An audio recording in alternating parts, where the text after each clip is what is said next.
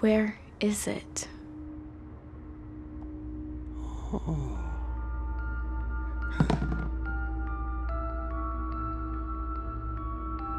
There you are.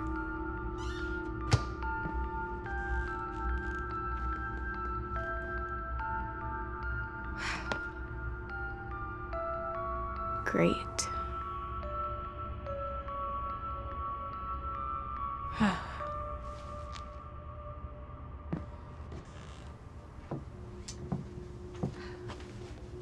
Christopher, did you get into the honey again? No, Christopher Robin, don't you lie to me, mister. This is the second jar of honey I've gone through in the past two days.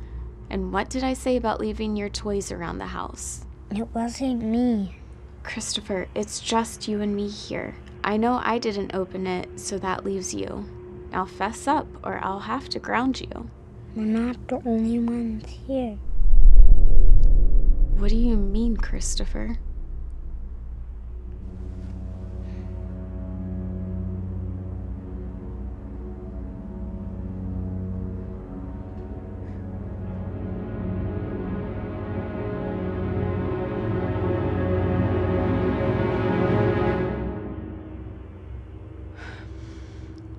Winnie the Pooh is not a living thing. Yes, he is. He ate the honey, all of it.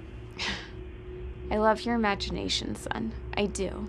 But he's not real.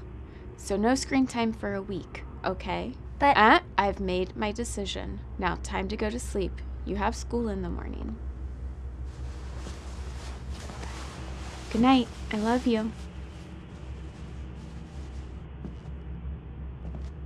Now, Christopher Robin, you promised not to tell your mother about me stealing the honey. told you she wouldn't notice. Oh, bother. I'm afraid you'll have to pay the consequences. Christopher?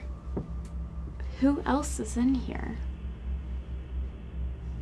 Mommy, could you take Winnie the Pooh? He's scaring me.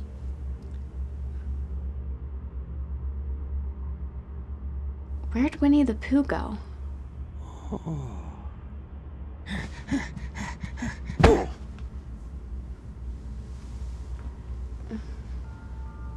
Mommy, put him down. Oh, bother. Now you'll both have to pay. I've got a rumbly in my tumbly, Miss Robin.